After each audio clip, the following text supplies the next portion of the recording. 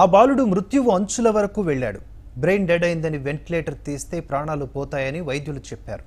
కూలి పనులు చేసుకుని రెక్కాడితే గాని కుటుంబాన్ని పోషించుకునే స్తోమత లేని ఆ తల్లి వైద్యులు చెప్పిన మాటలకు సొమ్మసిల్లి పడిపోయింది.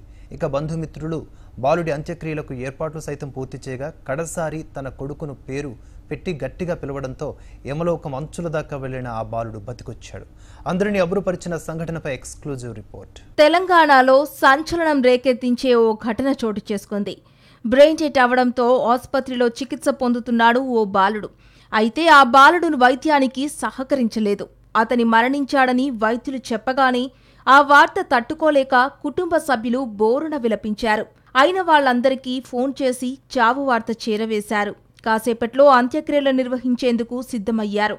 ఇంతలో అందరూ షాక్ అయ్యేలా చనిపోయాడనుకున్న బాలుడు లేచి కూర్చున్నాడు ఈ ఘటన సూర్యాపేట జిల్లా పిల్లలమర్రి గ్రామంలో చోటు చేసుకుంది. ఇక్కడ కనిపిస్తున్న బాలుడి పేరు కిరణ్. సూర్యాపేట జిల్లా పిల్లలమర్రి గ్రామానికి చెందిన గంధం సైదమ్మ రెండవ కుమారుడు. సైదమ్మ భర్త ఉపేందర్ ఏడేళ్ళ క్రితమే అనారోగ్యంతో చనిపోయాడు. అప్పటి నుంచి సైదమ్మ తన ఇద్దరు కుమారులను కూలి పని చేస్తూ పోషించుకుంటోంది. చిన్న కుమారుడు కిరణ్ జూన్ ఇరవై నాలుగున వాంతులు విరోచనాలు కావడంతో సూర్యాపేట జనరల్ ఆసుపత్రికి తరలించారు. వైద్యుల సలహా మేరకు హైదరాబాద్లోని ప్రైవేట్ ఆసుపత్రికి తరలించారు. చికిత్స అందించిన వైద్యులు బాలుడు బ్రెయిన్ డెడ్ అయిందని వెంటిలేటర్ తీసేస్తే చనిపోతాడని చెప్పారు. దీంతో చేసేదేమీ లేక చికిత్స నిలిపివేసి బాలుడిని ఇంటికి తరలించారు.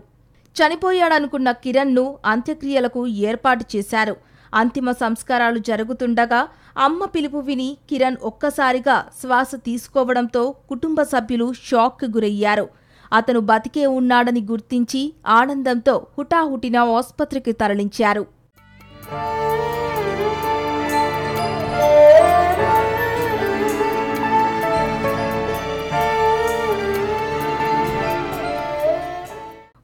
సమయంలో కిరణ్ శరీరంలో కదలికలతో పాటు మాట్లాడడంతో వారి కుటుంబ సభ్యులతో పాటు బంధువులు ఆనందంతో కన్నీటి పర్యంతమయ్యారు.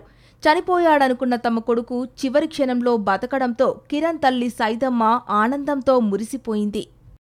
సూర్యాపేట తీసుకుపోయి మేము ఏరియా హాస్పిటల్కు.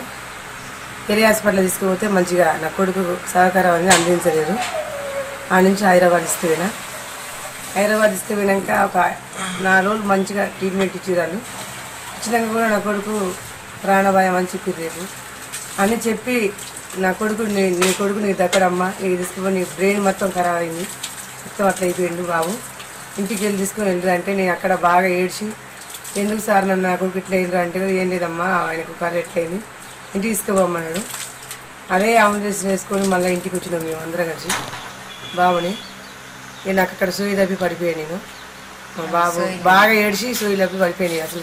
నేను బాగా ఏడ్చుకుంటుండే నాన్న కిరణ్ నాన్న ఏంది నాన్న ఏమైంది నాన్న నీకు? అని ఏడుస్తుండగానే కొంచెం కంటి నుంచి నీళ్ళు వెళ్ళినట్టుగా అనిపించింది